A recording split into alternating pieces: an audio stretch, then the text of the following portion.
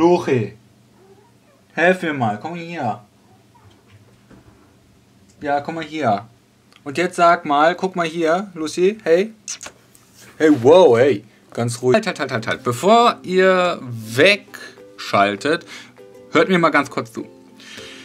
Takokoa ist an sich ja mein Hauptkanal. Ja, also ich muss mal, ich, ich fange einfach mal ganz von vorne an. Also bevor ich jetzt, das könnte jetzt ein bisschen länger werden. Also setzt euch hin, trinkt euch einen Kaffee, holt euch einen Tee, holt euch O-Saft. Die Tür geht magischerweise auf. Um, whatever.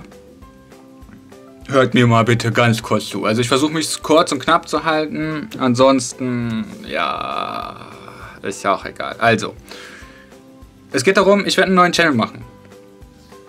Ja, warum werde ich einen neuen Channel machen, fragen sich jetzt wahrscheinlich viele. Und was ist mit den Projekten, die auf Takokur sind? Also, warum ich einen neuen Channel mache, ist unter anderem, ich habe 281 Abonnenten. Ja, habe ich. Und es geht darum, für 281 Abonnenten, ich meine, der Kanal besteht seit 2010. Ich habe seit 2010 circa angefangen mit den Let's Plays. Zwischendurch waren ziemlich viele Pausen, was ein ziemlich, ziemlich großer Fehler war, dass ich eine richtig ich glaube, über zwei Jahre ging die Pause, ja, eine Pause gemacht habe. Und diese Pause war halt mehr oder weniger mal ein Verhängnis. Deswegen bin ich ziemlich weit, ja, bin ich stecken geblieben, so gesehen, ja. Und ähm, was mir halt nicht passt an diesem Channel ist zu einem die Resonanz. Also mir sind Abonnenten mehr oder weniger sogar egal. Was mir wichtig ist, ist die Resonanz. Sprich, die äh, Wiedergabezeit, die äh, Daumen und was ganz wichtig ist, auch für einen kleinen, vor allem für einen kleinen YouTuber, ist die Resonanz. Also nicht die, der Resonanz, die, der Feedback. Der Feedback, ja. Also was man verbessern könnte in eurer Ansicht aus. Das ist eins der wichtigsten Bestandteile eines kleinen Kanals. Das wissen wahrscheinlich viele gar nicht, weil viele gehen einfach nur Abo für Abo durch. Also Abo hier, Abo da, Abo.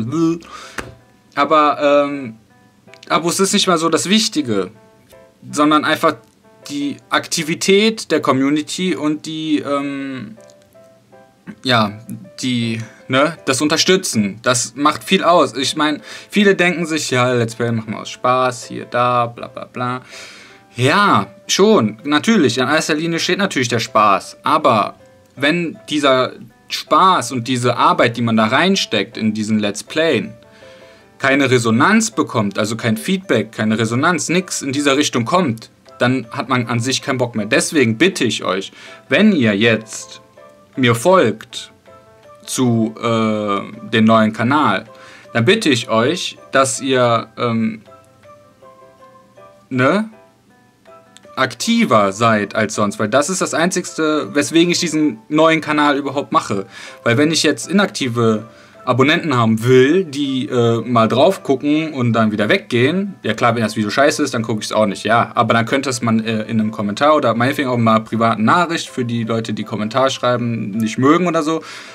Wir schreiben, was einen nicht gefällt hat. Weil das macht viel aus. Kritik oder Feedback, also dieses ganze Getriss, das macht extrem viel aus. Also, wenn ihr mir auf Nilo folgt, dann ähm, versucht ein bisschen aktiver zu sein.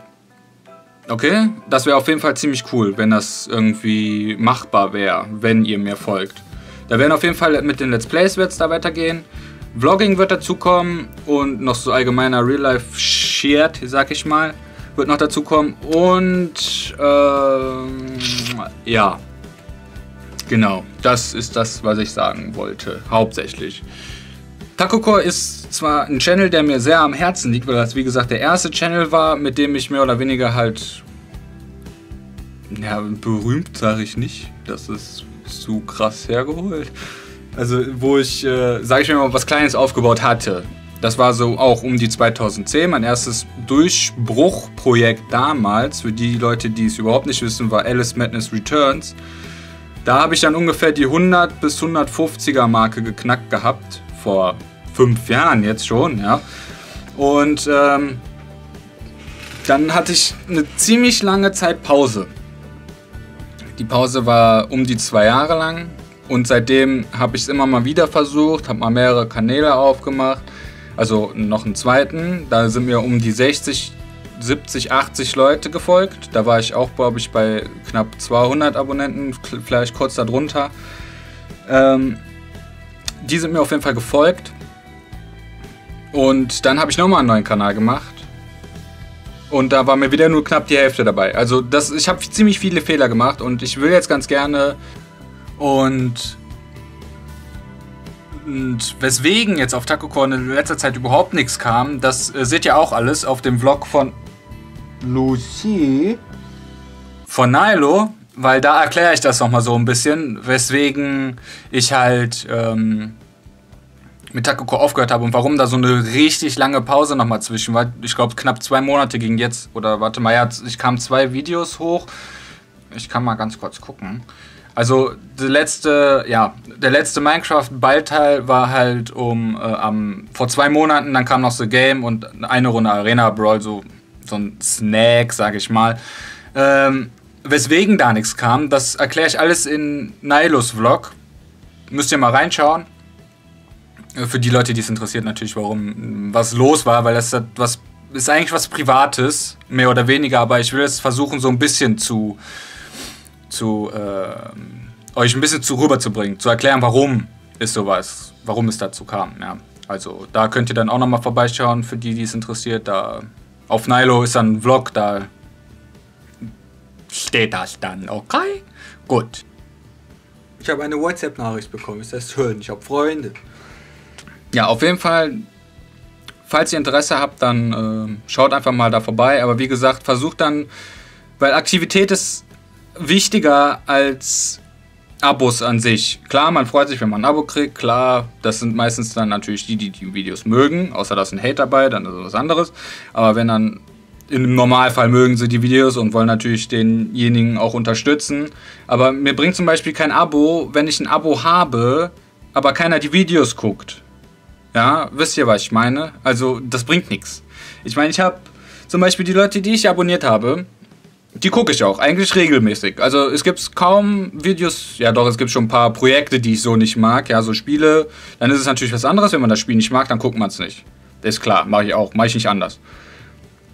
Aber an sich halt, Aktivität ist halt ziemlich wichtig. Das wissen wahrscheinlich viele nicht, weil ähm, wenn ich mir mal halt dieses Abo für Abo-Getrisse angucke, ähm, wofür, frage ich mich. Ich meine, was bringt euch ein Abonnent, wenn dieser Abonnent nur eine Zahl ist, der euren Kanal nicht weiterhilft? Hilft. Ja, also ich bin da ziemlich offen bei den 281 Abonnenten, die ich habe und bei den ähm, Videos, die ich jetzt so in den letzten Tagen, also ich sag mal in den letzten, also hier, wo ich angefangen habe mit Binding of Isaac und so, als diese äh, Videos kamen, da habe ich erst gesehen, wie wenig Abonnenten ich eigentlich noch habe. Also vielleicht dadurch, dass YouTube ja immer noch die inaktiven Kanäle löscht, können sie ja nicht wirklich inaktiv sein. Ja, also sprich, die äh, Kanäle existieren noch und sind ab und zu auch wahrscheinlich noch drin. Aber von den 281 habe ich gefühlte 10, würde ich schätzen. 10 bis 15 aktive aktivere, sage ich mal, die auch ähm, aufs Video klicken, vielleicht nicht gerade den Feedback da lassen, der mir lieber wäre, aber ne? You know what I mean, I think.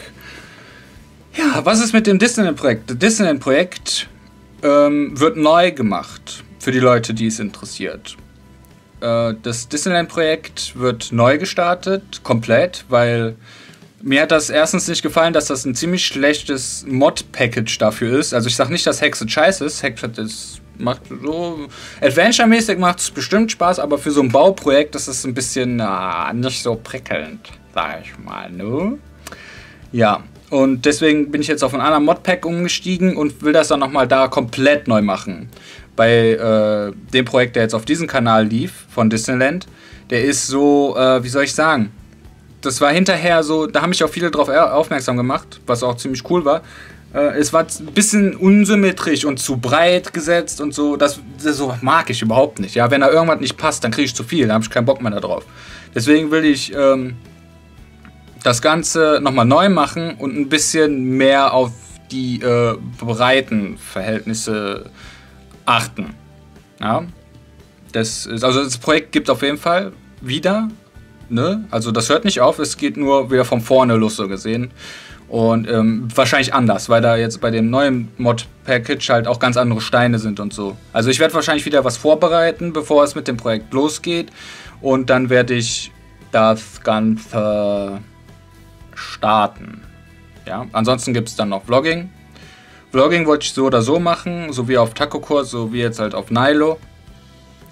Tacocore, äh, ja, kam nie wirklich dazu. Wobei ich die jetzt, die Ligria hieß es, ne? Ligria, ja, schon ziemlich lange habe. Die habe ich ja extra dafür geholt damals, aber äh, ja, nö, muss man nicht reden. Ja. Ja, ich glaube, mehr habe ich nicht zu sagen. Also wie gesagt, falls ihr äh, Interesse habt, dann schaut einfach mal auf Nilo vorbei. Der Link wird hier überall irgendwo sein, also verfehlen kann man ihn nicht. Und bis dahin, ja, sage ich vielen Dank fürs Zuschauen und ich hoffe, wir sehen uns dann da. Ja, also haut rein. Tschu. Guck doch mal. und durch diesen Buller-Effekt habe ich voll den Eierkopf.